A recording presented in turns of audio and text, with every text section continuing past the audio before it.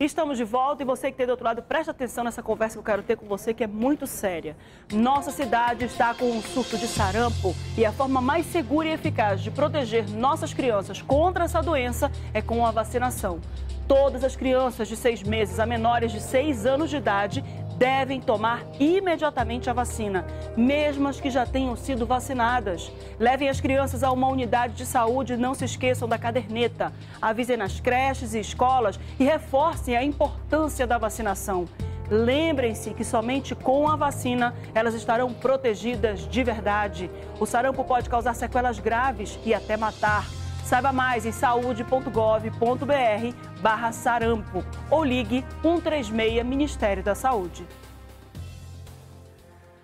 Viu aí, né, gente? Tem que vacinar e não pode vacilar de jeito nenhum, porque o sarampo pode matar. Eu tomei a vacina na quinta-feira passada, tive ali um, uma dorzinha no corpo, uma febre normal, porque cai um pouco a imunidade para poder ela se fortalecer, voltar fortalecida. E é imprescindível que todos se vacinem. Não vamos deixar o sarampo nos vencer. 11 horas e 45 minutos. Vou embora trazer agora aqui uma informação bem legal. Eu estava conversando aqui antes do programa começar com o diretor artístico da série Encontro das Águas, o Átila de Paula, que já está aqui comigo. E, gente, que coisa inusitada, viu? É a quarta edição já, né, Átila? Exatamente. Quarto ano agora. E como é que funciona essa série? Você estava falando agora que é uma mistura do pop com a música erudita para é, para poder reexibir, né, exibir ali músicas que são trilhas sonoras de séries, de filmes. Como é que é isso? Exatamente. Essa série ela nasceu lá em 2014 com a gente conosco percebendo uma necessidade do público do público manauara para esse para esse segmento da música, né?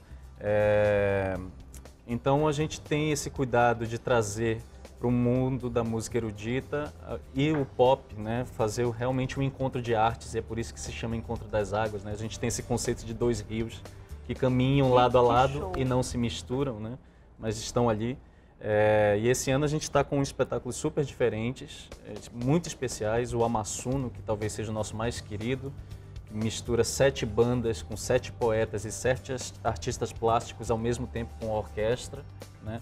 Hoje tem a apresentação do Heroes, que é de trilhas sonoras, como você disse, de super-heróis. Uhum. E temos também o Musicflix, que é, como o próprio nome já diz, faz essa brincadeira com a Netflix, né? Uhum. É, são trilhas sonoras de séries, enfim.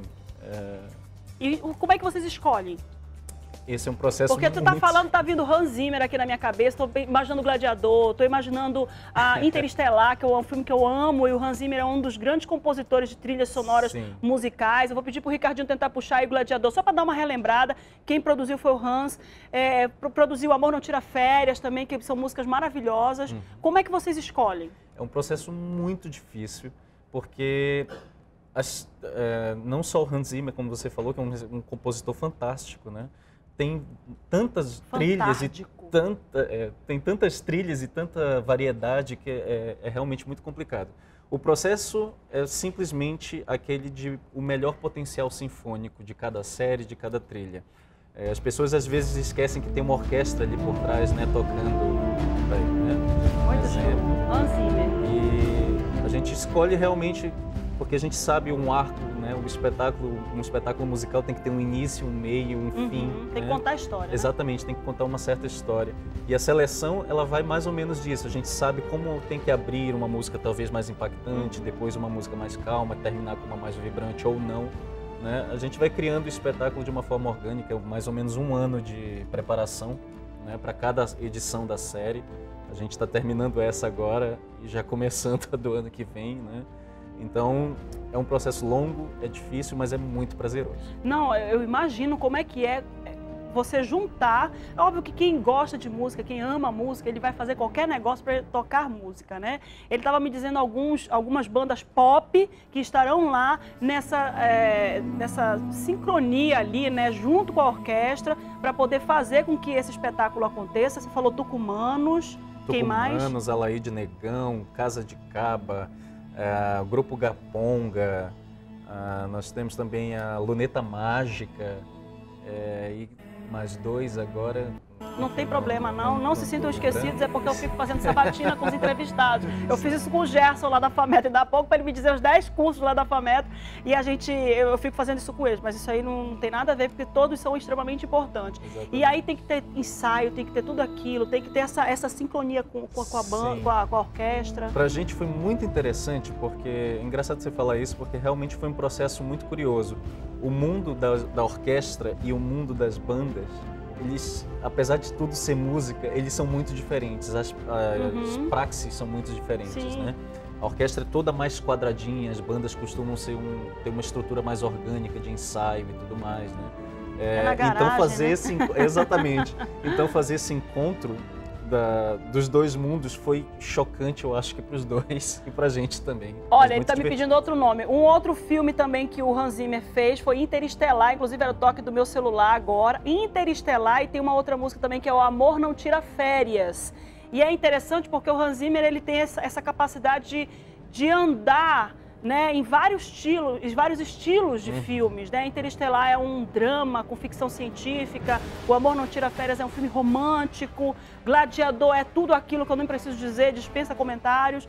E a gente realmente vê isso muito. O Hans Zimmer também compôs Interestelar e o amor não tira férias, porque o pessoal tá doido lá procurando. Sim. Né? Tá todo mundo louco Sim. lá procurando. Faz o um convite para todo mundo, me diz o. Ah, ingressos, né? Tem os ingressos. Isso. São preços populares, né? Mas a gente pode falar. Uhum. Os ingressos estão à venda na bilheteria do Teatro Amazonas já desde a semana passada e seguem até o final da série. O final, ela termina no próximo domingo, né, no dia 29. Ah, os preços são populares, começa de R$ reais e vai até 60, dependendo da, do, enfim, da seu, do seu posicionamento ali no teatro. E isso valendo para a entrada inteira, né? Você ainda uhum. pode fazer esses ingressos à meia entrada, ou seja, R$ 2,50 a 30. A, a venda na bilheteria do teatro e no site aloingresso.com.br. Vou pedir só mais uma música rapidinho, só para eu encerrar aqui, porque o diretor já disse que vai, vai, a gente vai encerrar. Me diz uma, uma, uma música que vai tocar lá no espetáculo, para os meninos procurarem aqui. Tem como? Você lembra assim de cabeça? O tema de Game of Thrones. Game of... Pede para Jaziel procurar isso. Game of Thrones. Coloca aí, Game of Thrones. Quem não conhece também conhece, também toca do meu celular. É uma coisa. Essa música que estava tocando ainda há pouco é a, a, a seleção do Interestelar. Lembrando que o Hans Zimmer recebeu essa missão do diretor sem ver uma cena do filme. Ele simplesmente disse assim: vai ser um filme assim, assim, assado, de física quântica, de busca por, por, por solução para o planeta Terra. Se vira, negão. É. E ele se virou e se virou bem, né? Super bem. Aquela super música, essa música é maravilhosa. Pessoal que não entende diz que parece música de filme de terror quando toca no celular aqui, mas não é, gente. É uma super produção de Hans Zimmer, é do Hans. Tem um órgão lá, Um órgão, forte, uma coisa né? assim, vou te falar, tá? É, coloca Game of Thrones pra gente encerrar a nossa entrevista que a gente tem que encerrar em grande estilo. Game of Thrones, que só tem série semana, ano que vem, porque é uma super produção também, só para lembrar vocês. 11 horas e 52 minutos, os dias que acontece. Ah, são vários dias. Ah, ontem nós terminamos o Bjorka, nós temos espetáculo hoje, super especial, todo de trilhas sonoras de super-heróis da Marvel e da DC. É, temos espetáculo na próxima sexta-feira, sábado e terminamos a série no domingo. O Amassuno sendo no sábado e o Music Flux no domingo. É, os ingressos são comprados no Alô Ingressos e informações sobre todo esse repertório. A gente busca onde? Tem um lugar que a gente possa ver? Ah, atualmente a gente está fazendo essa divulgação somente nas páginas uhum. dos artistas, né?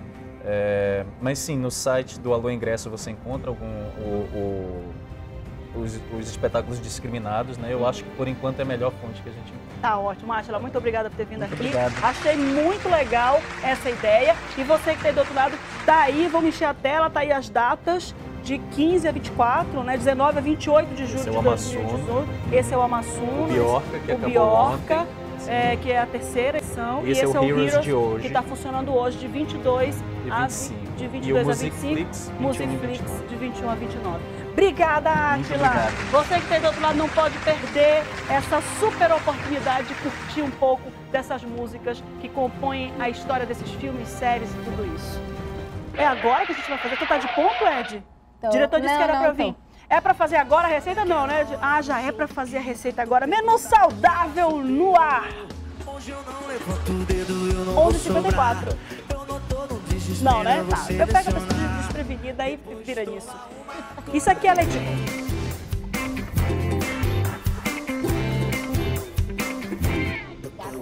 Não, ainda bem que o Cris não tá com nenhuma tesoura para cortar meu cabelo, né, Cris? Cris hoje tá se virando nos 30. O que, que a gente tem? Quais são os ingredientes? Então, para nós fazermos aqui a, o vatapá de banana verde, nós vamos precisar de banana verde cozida e batida uhum. no liquidificador. Para virar esse creme aqui que nós trouxemos. Já bati, viu?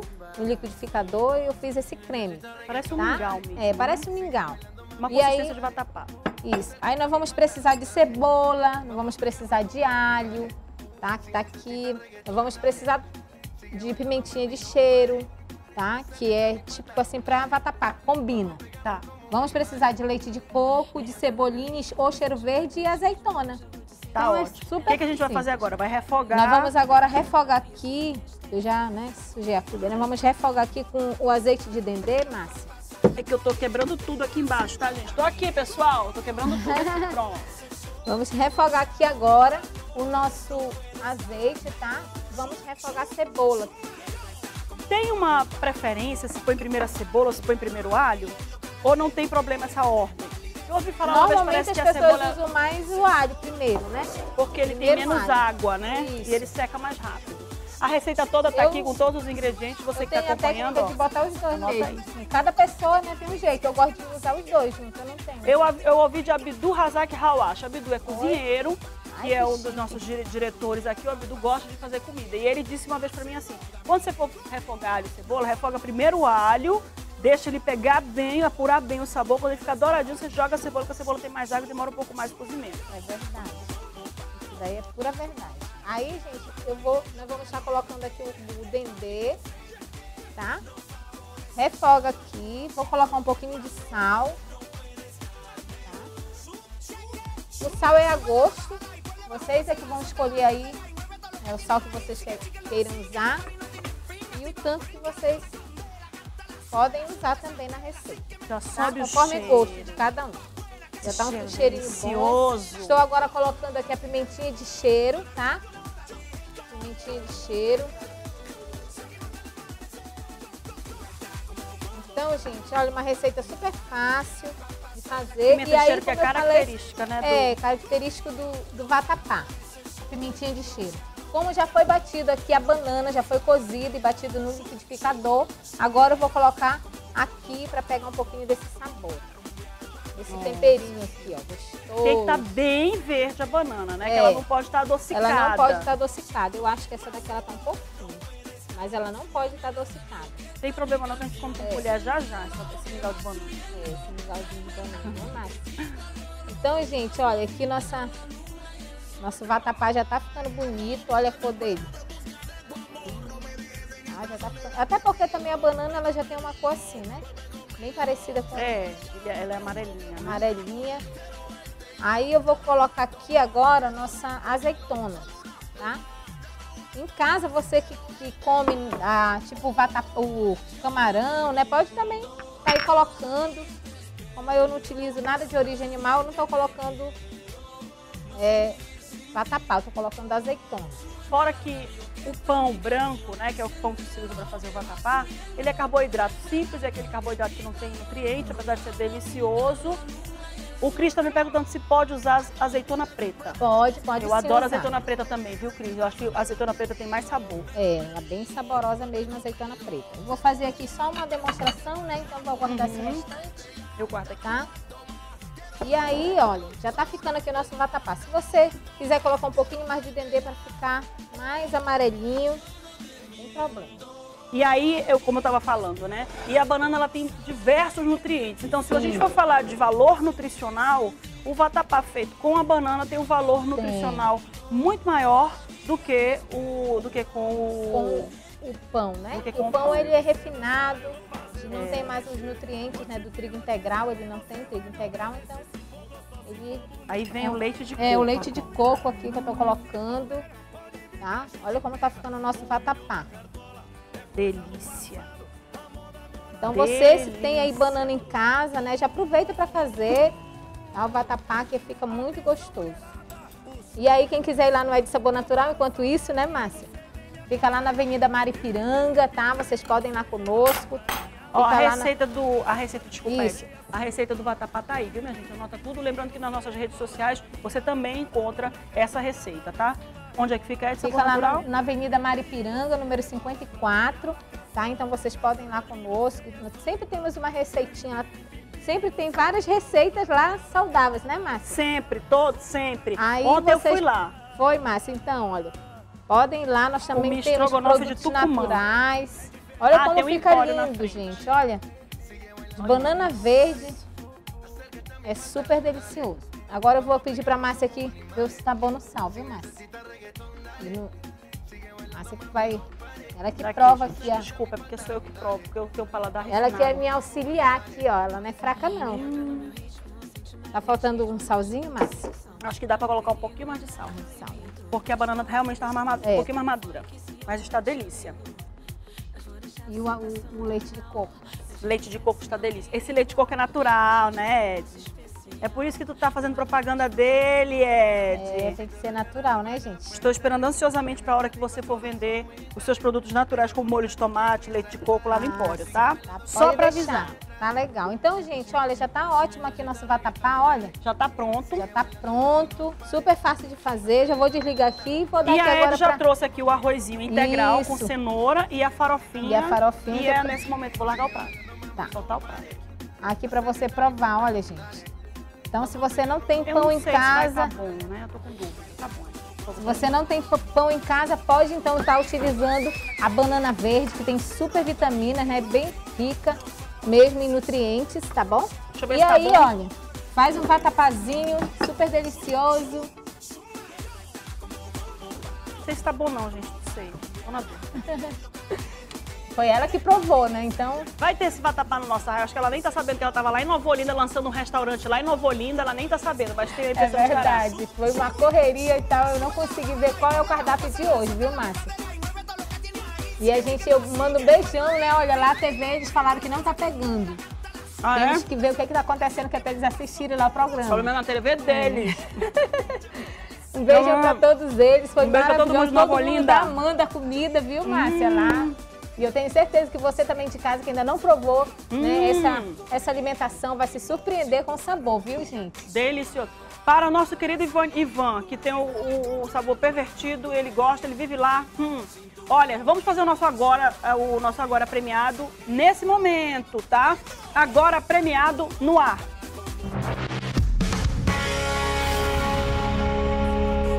Lembrando que você não vai dizer alô, você vai dizer Ed Sabor Natural, lugar de alimentação saudável, vai ganhar dois almoços lá no Ed Sabor Natural Vegetariano.